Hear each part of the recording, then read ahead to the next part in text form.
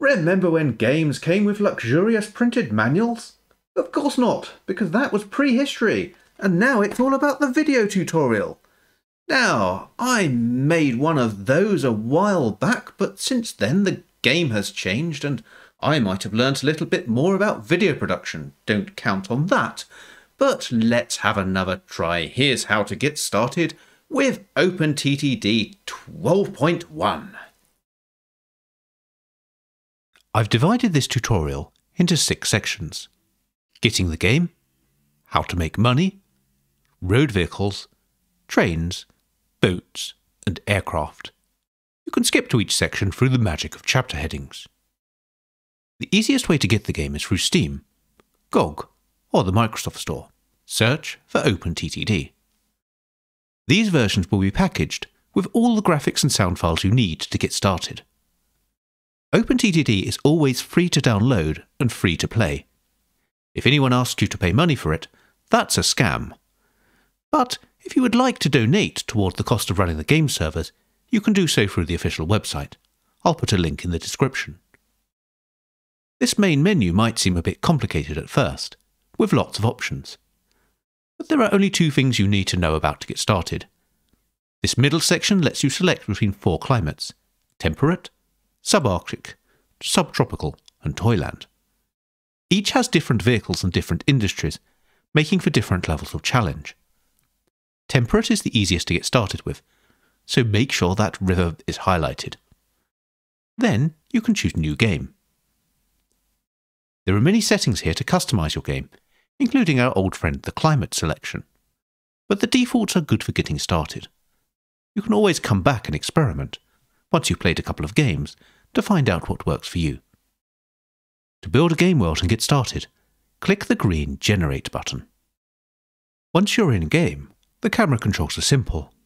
Hold the right mouse button and drag to move the view. Use the scroll wheel to zoom in or out. You can left click the map icon on the top bar to open a map, and click on the map to move the view to that location. As well as clicking on buttons like the map, you can also hold down the left mouse button to reveal more options. That's most useful on this disk menu, where you can abandon the current game, quit your operating system, or save your current progress. Some other useful icons are this boss, which will open the company screen. You can view your company here, give both yourself and the company a name, and choose a colour for your vehicles.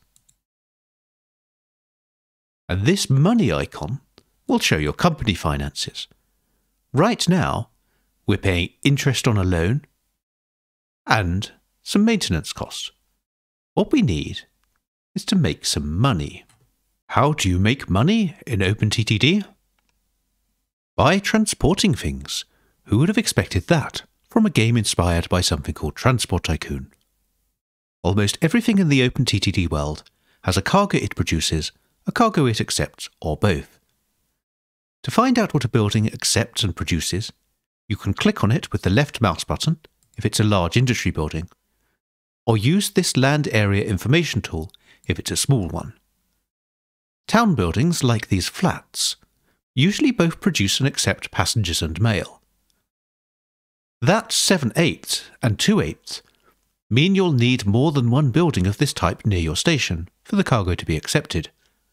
There has to be at least 8 eighths worth of acceptance in total. Sometimes larger town buildings will also accept goods produced by industries. When you're done with a tool like the land area information, you can press Escape to cancel it. Speaking of industries, these large industry buildings will produce or accept special industry cargoes. There are three types. Primary industries, like this coal mine, will produce cargo by themselves.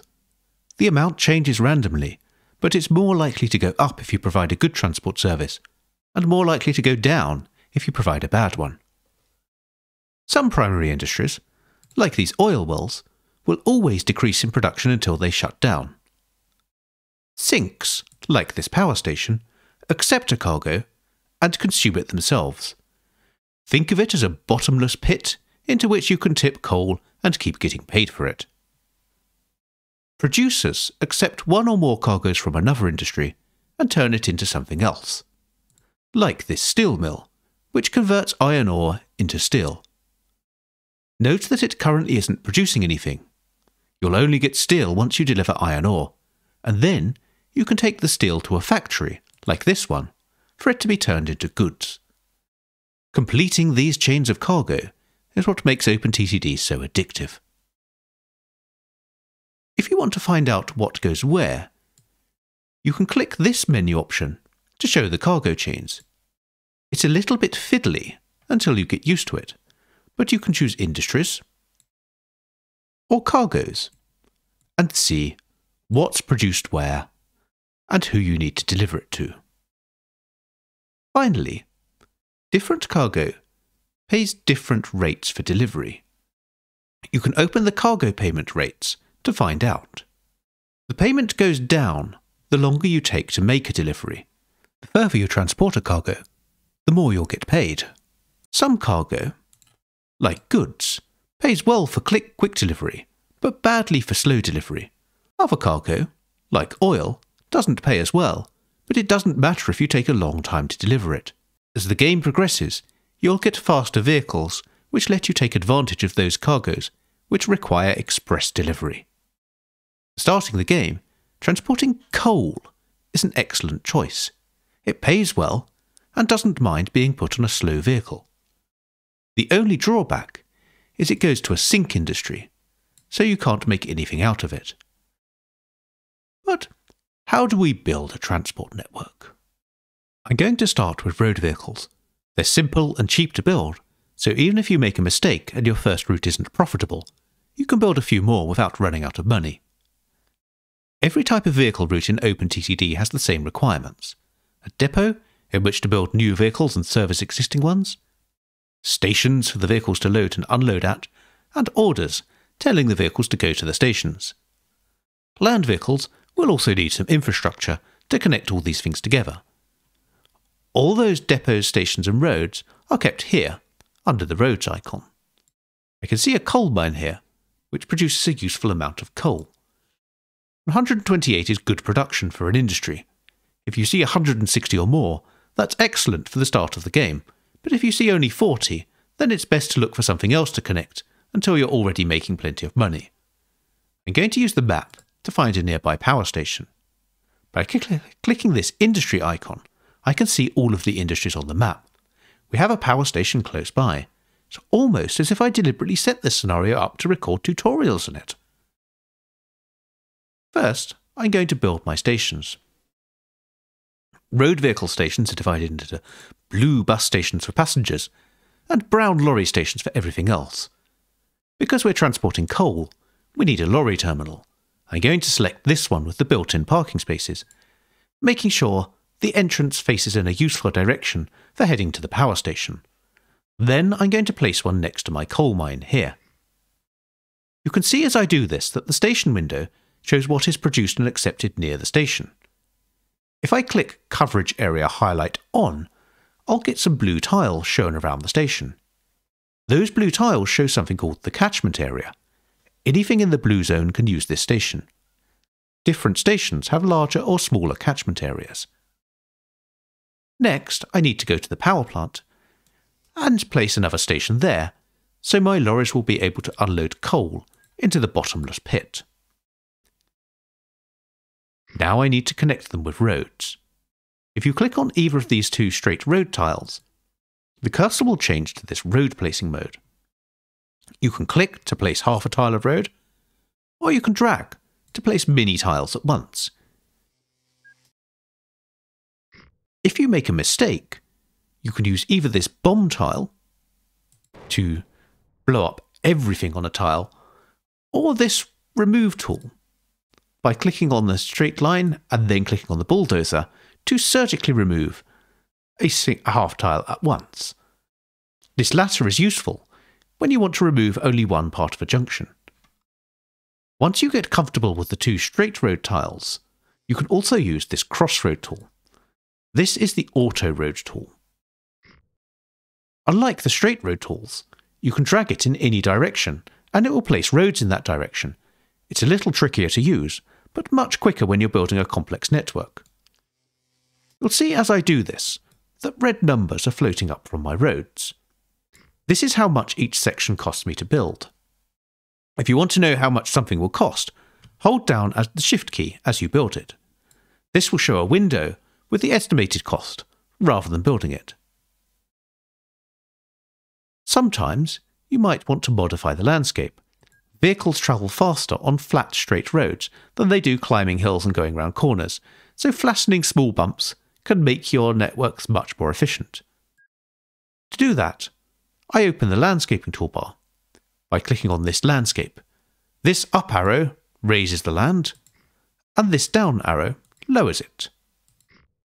You can drag them to raise and lower large areas.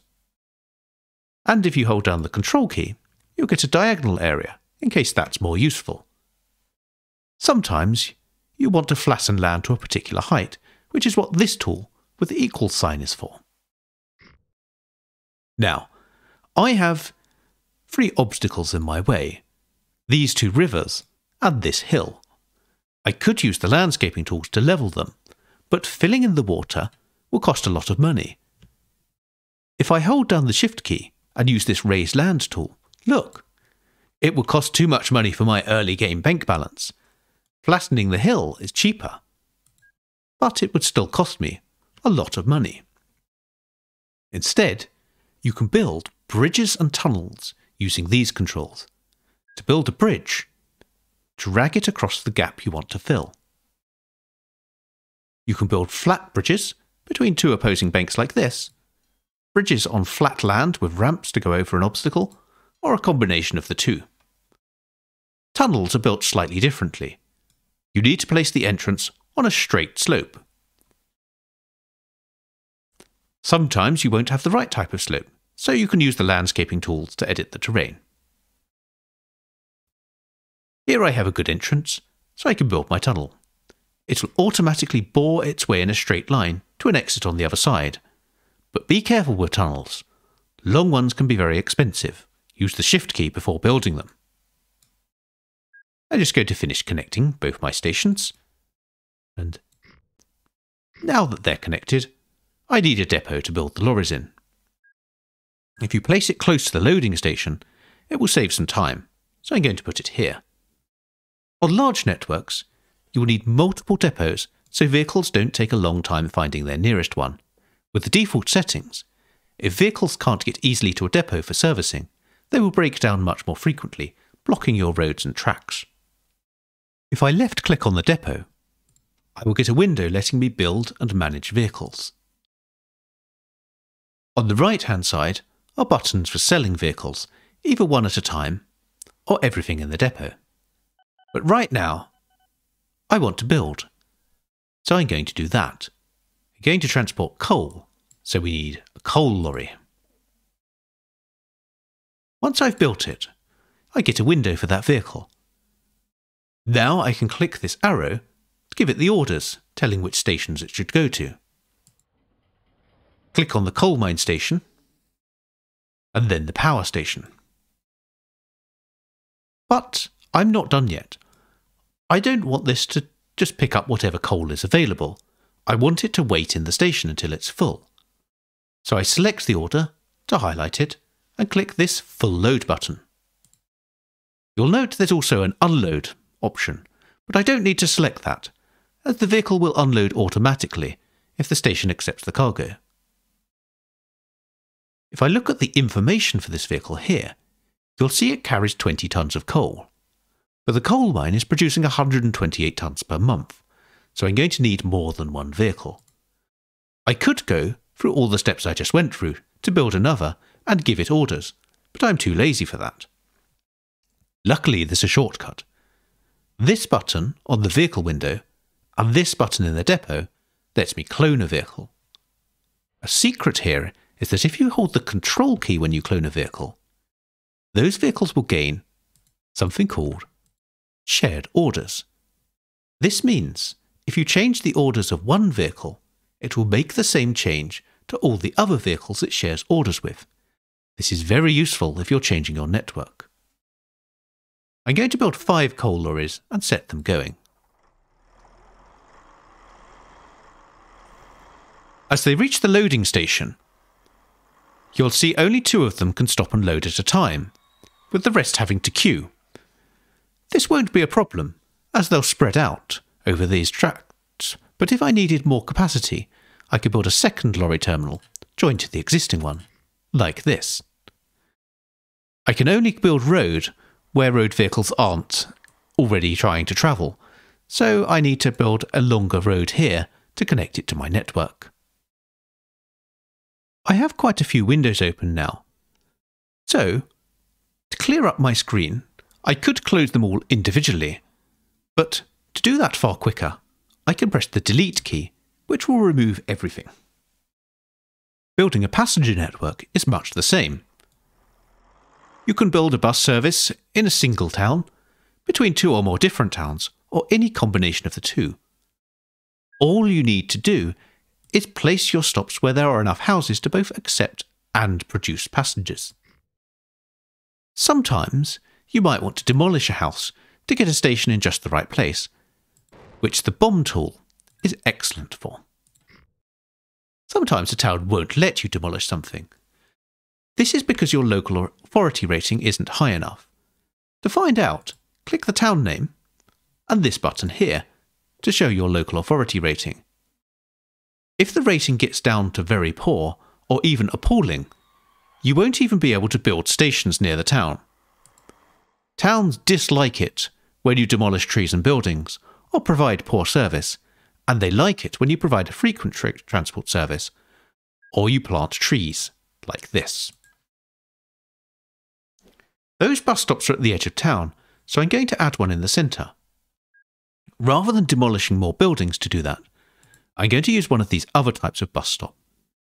This is a drive-through road stop. The downside of one is that vehicles stop on the road and block it, but the benefit is you can place it on any straight road tile without a junction.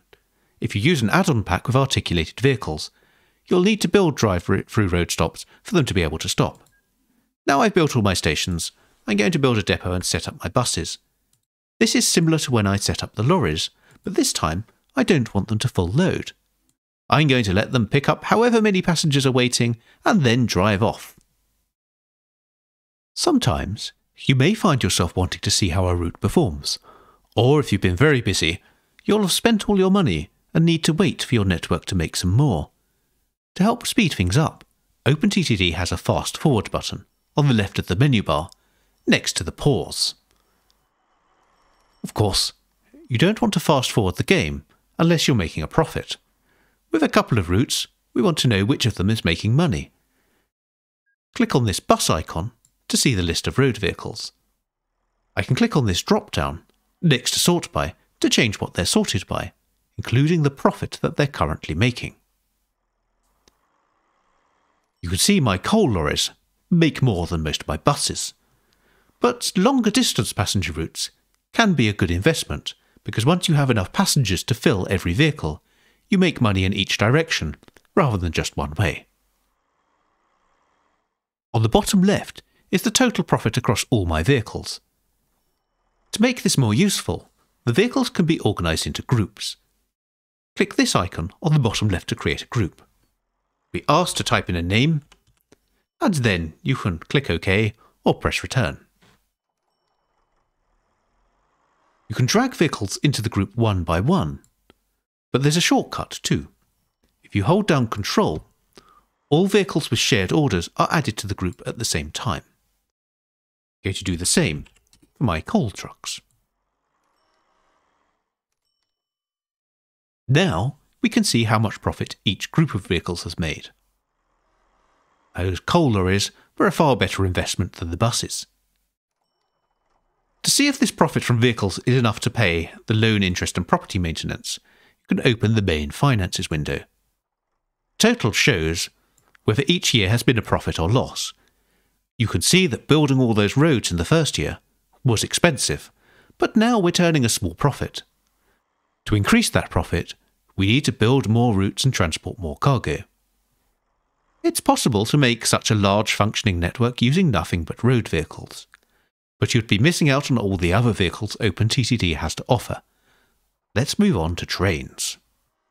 Trains are the iconic vehicle of OpenTTD, thanks to the rich complexity of signals, junctions, and station designs.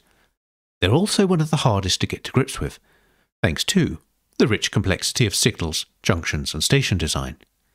But if you're already familiar with building road vehicle routes and making them profitable, they're not so difficult.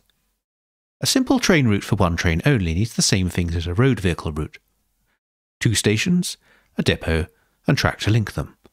But even this is a bit more complex. When I open the railway toolbar, you can see there are four different directions of track. And that's not all. When I build a station, I need to decide how many platforms it will have and how long it should be. Train length is a deeply personal choice. Some players like having mini tiny trains which accelerate quickly and provide frequent services, while others enjoy the spectacle of seeing huge American style freight consists wind their way around mountains. But a good starting point is to have a train able to carry roughly a month and a half of industry production. This iron ore mine produces 128 tons of iron ore, so we need a train that can carry around 192 tons. To find out how long a train that will take, we could build one in a depot, but we can also check before building. If you open the trains window by clicking on the train icon, you'll see it showing all of our zero trains. But at the bottom of the window is this Available Trains button. This shows us all of the trains we can buy. Scrolling down to the iron ore hopper, we see it carries 30 tons of iron ore. So to carry a month and a half of cargo from our industry, we'll need six wagons for a capacity of 180 tons, which is a little less than 192, but close enough. Each wagon is half a tile long, and we'll need an engine too, so that gives us a train length of three and a half tiles. If a train tries to load or unload on a station platform that's shorter than the train, it'll be very slow, so we know our platforms need to be at least four tiles long. I'll build those now, one next to the iron ore mine and one next to the steel mill. You can choose the number of platforms and length from the buttons, but I like this drag and drop approach. I want to start with only a single train, so I'll build just a single platform. Next, I need to connect them with tracks. Just like roads, I can either build each individual direction, or I can use the automatic tool. When you're building rails, not only do you want to keep them as flat as you can, you want to make sure the turns are nice and gradual, so the trains don't slow down too much. Make sure you only turn 45 degrees at a time, and always have at least one piece of track before you change direction again. Ideally, two or more, so faster trains don't slow down. Finally, I need to build my depot. If I place it next to the track, you'll see it automatically creates a junction for the train to access the track. Now I can get to the important part, building my first train. Unlike the road vehicles, we've got a choice of engines. Early on in a game, you need to choose carefully between cost and speed. These Kirby Paul tanks are slow, but you could build two trains and some extra wagons for the price of a single Ginzu A4. However, we get paid more for delivering cargo faster, and more powerful locomotives are better at hauling long trains and climbing hills. For now, I'm going to pick the Chaney Jubilee. It's a nice compromise, nearly as fast and powerful as the A4, but a lot cheaper to buy and to run. I'll build one locomotive and six iron ore hoppers. You can see the length appear next to the train in the depot. If I click the Information tab, and then the total cargo button, it will show me the capacity, 180 tons.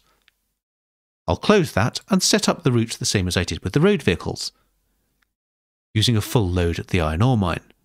As a shortcut, rather than selecting the order and changing it, I can hold Control when I click on the iron ore mine station and it will automatically become a full load order.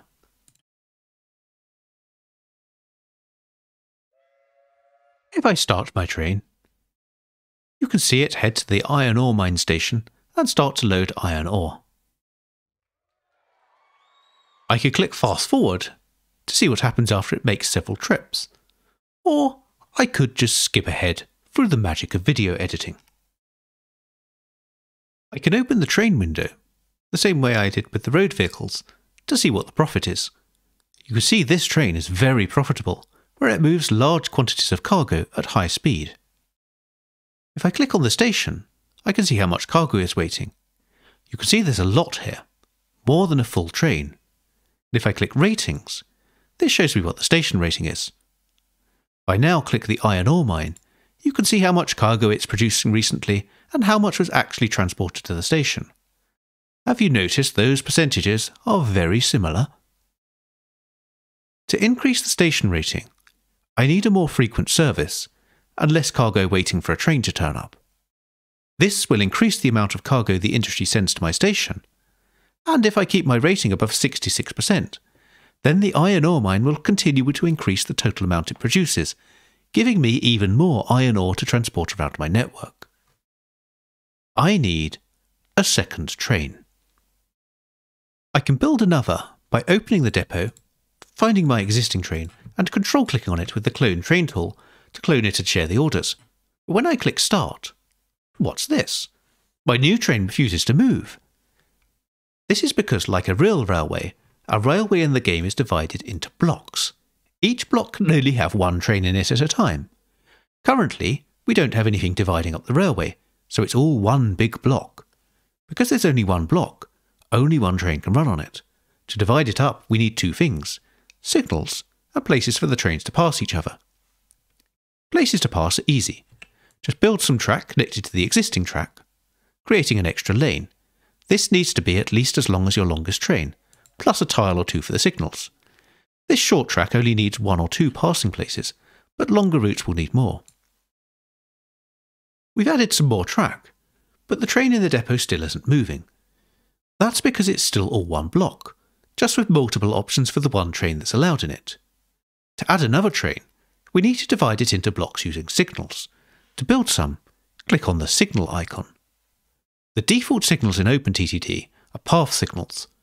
These allow more than one train to be in a single block if their paths are guaranteed not to conflict. While that sounds very complicated, all it means is that if trains are headed to different places, they can both enter the same block if they're taking different routes. These are like real world signals, you only have to worry about the trains in the direction your points are set for. Signals are available in both semaphore and colour light versions, but each signal in a column works the same way. There are two types of path signal. This one on the right acts as a signal in one direction and a no entry sign in the other. Trains can never pass this in the opposite direction. The other, on the left, acts as a signal in one direction and can be ignored in the other. This is a bit complicated, as what it means is that when a train passes it in the wrong direction, it reserves a path all the way to the next front facing signal, and no other train can share those tracks. Most of the time, you'll only need to use one way path signals. Let's build some. I'm going to take my passing place and put a signal on each direction. I only need to put signals where I want the trains to stop and wait. Everything else will be handled by the path reservation mechanic. Speaking of which, do you see those tracks turning dark? This is a feature in OpenTTD that shows me the path each train has reserved. You can see as the train moves, it reserves a path up to the next front facing signal. No other train can share this path.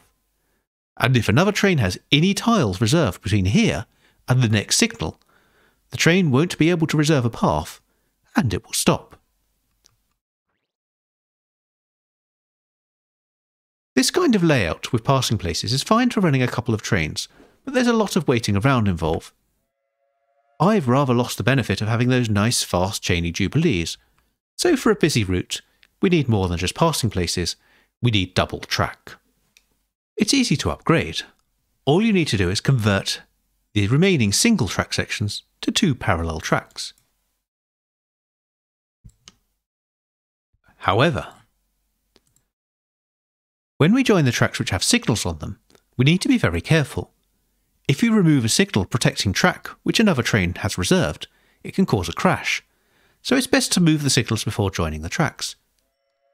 Build a new signal, and press R while you have the signal window open to change to removing signals. The highlight will turn red and you can click on the signal to remove it. I can then complete building my tracks and remove the connecting tracks as well.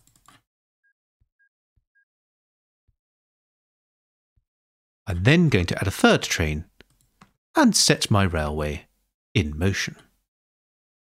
Now that things have been in motion for a while, you'll notice I still have a lot of waiting around. That's partly because I need to upgrade my stations, but also because I haven't built any new signals. This train couldn't get any further because the train in front of it has some tiles reserved between here and the next signal. On double track, we want to build signals at regular intervals. Luckily, OpenTTD has just the tool.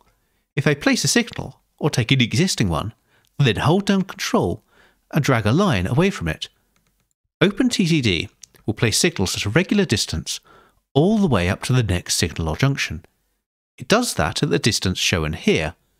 4 is a good compromise between allowing plenty of trains to run and not having too many signals on quiet routes. You can see these trains can now get much closer while they're queuing. It's vitally important to place signals at consistent gaps, so trains don't have to stop because the gap gets longer and suddenly a train that wasn't in the way now is. So we need to remove some of our old passing place signals. Do this we press R again, get the red highlight, and click the signals to remove, so we can then drag all the way up to the junction.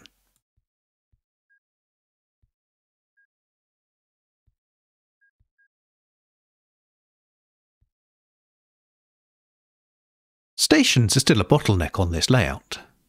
To solve that, we need to upgrade them to double track. This is easy to do. You can either build a platform next to the existing one, or drag over the whole station. This gives you different appearances of the final station, which can be used for artistic effect. We need to connect these up, which is very simple. Build an X directly in front of the station, then connect it up to the existing tracks, removing any joining tracks which are no longer needed. You can also place signals right at the entrance and exit of the X to maximize throughput. Note that there's a shortcut key for, for placing signals, which is S. These signals allow trains to wait right at the entrance to the station and leave the moment their way is clear. Building stations that allow departing trains to be packed as closely as possible can get addictive. Experimenting to see what works is fun, but you can use this simple two track station design with the X in front of it without worrying. It's efficient and can handle up to 1500 tons of cargo per month.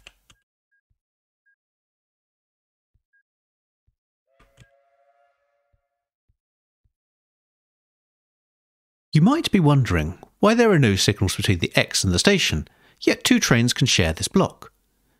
That's because the trains don't try to reserve a new path until they turn around. So as long as one platform is free, an incoming train is free to reserve its own path across the X and into the platform. You can use this same trick to put a depot directly on the X. Although beware that trains entering and exiting the station for servicing can block access to the station. Now we've added all this capacity, the station rating is much improved, and more cargo is being transported from the iron ore mine. The real fun with trains comes when we start to build a network. I'm going to connect another iron ore mine. This one produces 56 tonnes per month, so I'm only going to need tiny trains with free wagons. Having trains of different lengths on your network can make things more complicated, but complexity is why we play this game, right? Going to build my small station as double track from the start. When my track reaches the existing railway, I need to connect it. I could use a simple flat junction, like this, but that will soon run into capacity problems where trains block each other crossing the line. For an efficient network, I need wide turns and grade separated tracks. So instead, I build a bridge over the tracks. While the trains slow down a little going over it, it's still much better than having them conflict with each other. I try to keep the signal distances as consistent as possible to keep my trains flowing well. Next, I build my small trains for the iron ore mine. To speed up giving them orders, I'm going to make sure I hold control when I, when I click on the iron ore station. It's a full load order.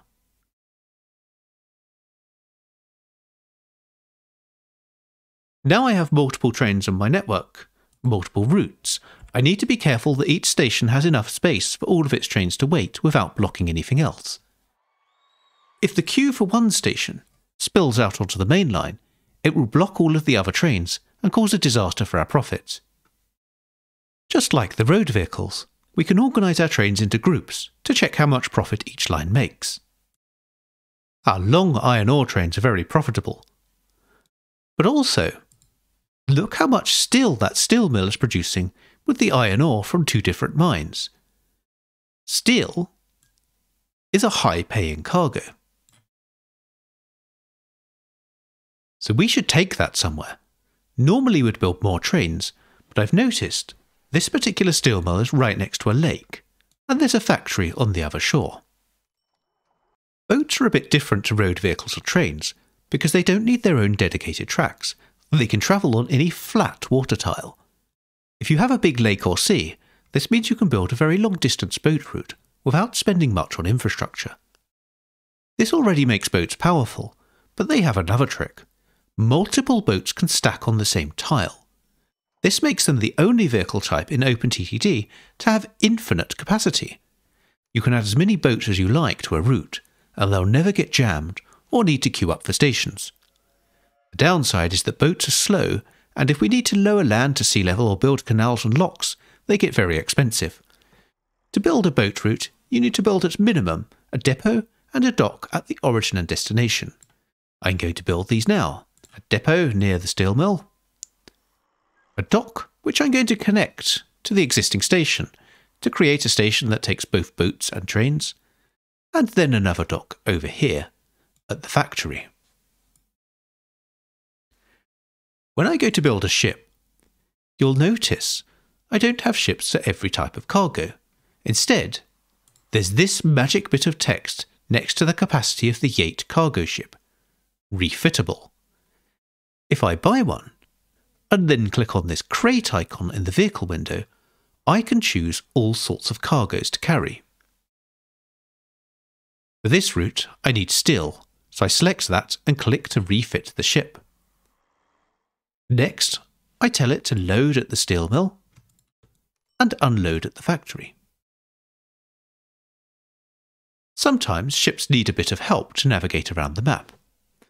If you keep seeing ship 1 is lost messages, then you need to place some buoys to help them navigate. These can be selected from the waterways and placed in the water. I then need to tell my ship to use them. To insert an order between two existing ones, simply click the order you want to place your new order above until it's highlighted in white. Then click Go To and select the buoys. We also need to make sure the ship will use the buoys going back in the other direction so it doesn't get lost coming back from the factory. Crossing this lake involves a bit of a detour, so I'm going to build a shortcut using canals. First, I build a canal across this piece of land here. They're on the expensive side, so I need to be careful to keep them short or make sure that I'm going to use them for a busy, profitable route. Now I need to get my ships up to the same level as the canal. Ships are unable to use sloped water tiles. So I'm going to need to build a lock on each slope. This will allow my ships to go up and down to access the canal. To make sure that ships use the canal, sometimes it's useful to place a buoy near each entrance so they can navigate effectively. I need to go back to my ship and change its orders so that instead of using the buoys for the detour, it instead uses the buoys for the locks. Now, you may have noticed some of these pop ups and some of the newspaper articles claiming the new vehicles are available. These prototype vehicles, you can say yes and if you buy one within the first year of it being available, you will be able to have more prototype vehicles and also use it before anybody else if you're playing multiplayer or against the AI. However, if you say yes and then don't use the vehicle, you will be blocked from using prototype vehicles for the next few years. New vehicles come out through the game and can improve stats and give you greater capacity, and later on in the game will give you new types of railways to build, such as monorails and maglevs. There's one last type of transport left in the base game aircraft. Aircraft are expensive to build and operate, but they can make you a lot of money. The biggest advantage they have is the only infrastructure you need to build is an airport at each destination. It doesn't matter how long distance the route, you only have to pay the cost of building two airports.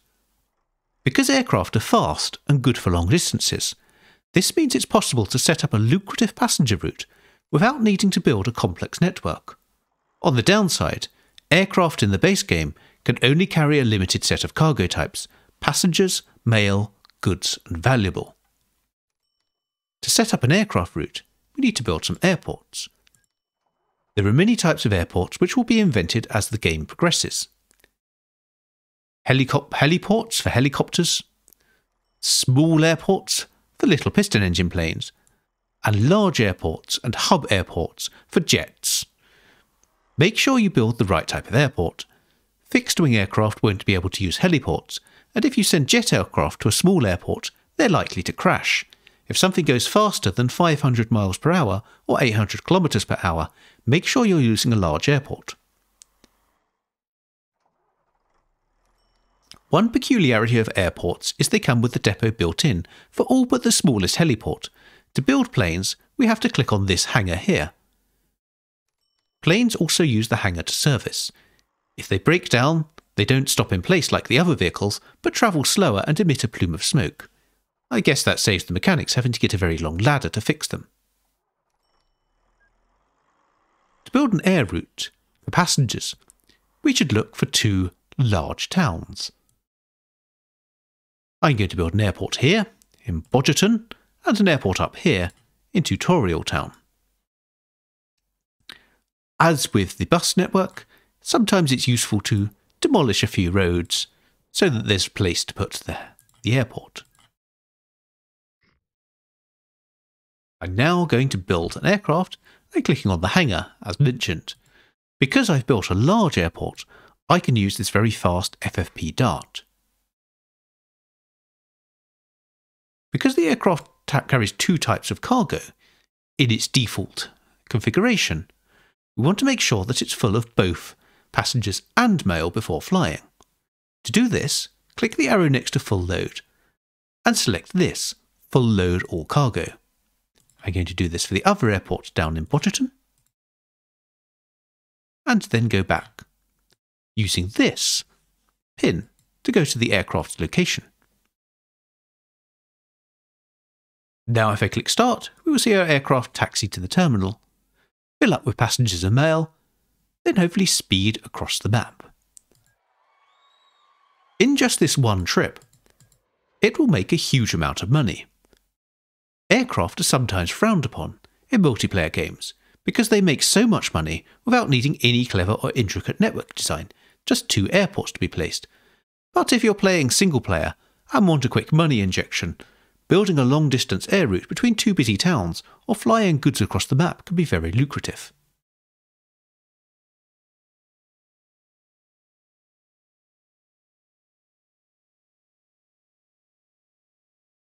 So, is that everything you need to know? Of course not!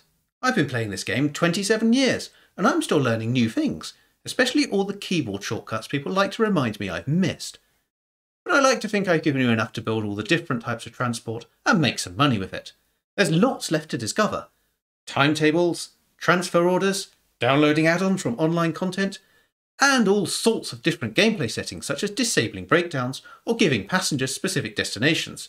Not to mention endlessly refining and improving your station and junction designs. Remember to test and experiment, and if you get confused at any point, you can always ask questions on the big communities on Reddit or Discord, I'll put links in the description below. I hope you found this tutorial useful and almost as good as the old fashioned way of doing things. If you liked it, please stick around for all the Let's Plays, documentaries and other fun stuff on this channel. But until then, Farewell.